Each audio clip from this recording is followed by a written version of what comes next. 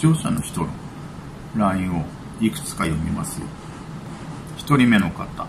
アイダさん、こんにちは。5年ぶりに日本に帰国して、実家に2週間滞在中、ライドさんの動画をいつものように毎日見てたら、そばで立ち聞きしたうちの母が、それ誰？福山雅治って言ってましたよ。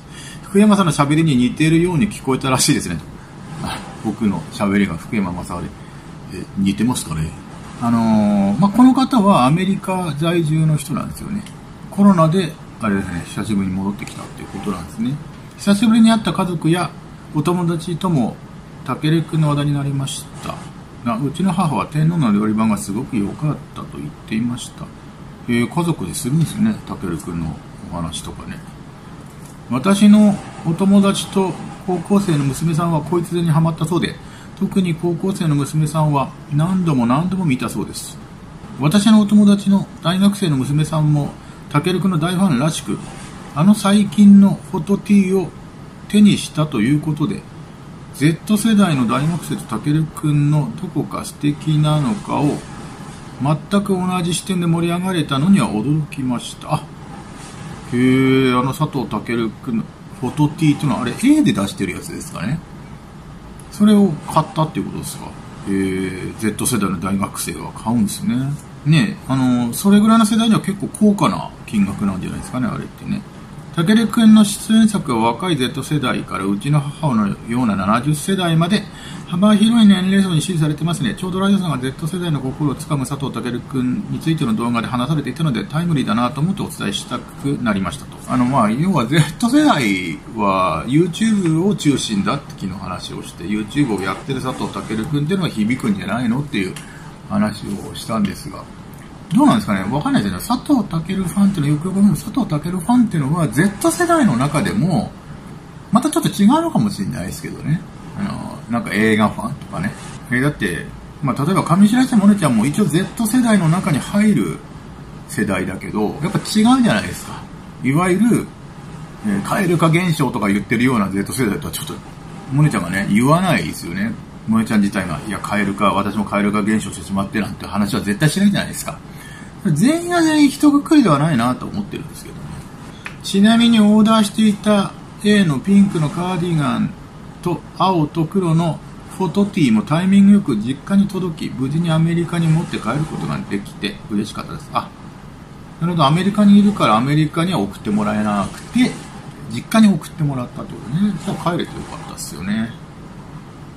もうなんかでもこの方はもうアメリカに戻ったみたいですね。別な方。皆さんこんにちは。いつも配信見てます。体調どうですか？体調は至って元気ですね。全然いいですよ、最近は。毎日暑いので夏バテしないように私も真夏のシンデレラ初回見ましたので毎週見ていますこいつとは比べられないですね吉川愛ちゃんスタイルが良いですか？私はこいつの時の愛さんの方が良かったですねなんか太りましたね太ってというか、年取ったんだと、やっぱそれなりに年取ったんですよね。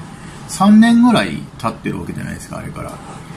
こいつの時の吉川愛さんにと、ちょっと写真とか比べてみても、うん、なんか年とともに、やっぱ大人になってるというか、って感じでしたね。こいつの時の吉川愛さんはやっぱちょっと幼いんですね、今、今の吉川さんに比べるとね。奈々ちゃんは可愛いと思います。私の夏ドラマの一押しは日曜劇場の「ビバンです。初回1時間半1時間30分ぐらいやってましたけど面白いです。そうですよね。結構相当長かったですよね。1時間半ですか。ボリュームがすごかったですね。あれ CG 一切使ってないっていうのもまたびっくりしますけどね。もうさもう CG かっていうぐらいの映像美なんですよね。でもあれ全部ロケ堺井雅人、阿部寛さんですね。ライドさん見ましたか？いや、見ました、見ました。全然見ましたよ。これ、これは面白いですよ、本当に。話は変わりますけど、モネちゃん、千と千尋の神隠しのみその座、私は全落ちしましたので行かれます。全落ちっていうのは、全部、いや、なんか、抽選で漏れたってことですかね。行きたかったのに残念です。ということは、やっぱりまた完売してるってことなんですかね。名古屋ですよね、みその座って。えー、メキシコ店は行きました。あ、行ったんだね、メキシコ店。めちゃくちゃ暑かったです。おすすめです。あ、そうなんですね。夏休みとか結構ね、メキシコ店は子供とか行きそうですよね。平日が空いているので写真もよく撮れます。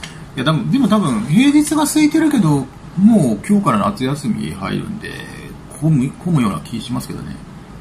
あとライブは24日の東京のチケット取れました。毎日暑いので、ライノさんの体調を気をつけてください。長くなりすいません。また LINE しますと。でも、良かったですね。えっ、ー、と、普通のライブの、うん、歌ですね。歌の方は取れたみたいな。それは良かったですよね。まあ、そんな感じで。もう、今日、19、明日、明後日ぐらいから、学校が夏休みですか。多分僕の視聴者の方々は、主婦の方とか多いと思うので、夏休みになるとお子さんが家にいたりとかしてまた大変なのかなと思ったりするんですけどね、まあ、僕は関係なく YouTube はやってるんで見てってください。そんな感じです。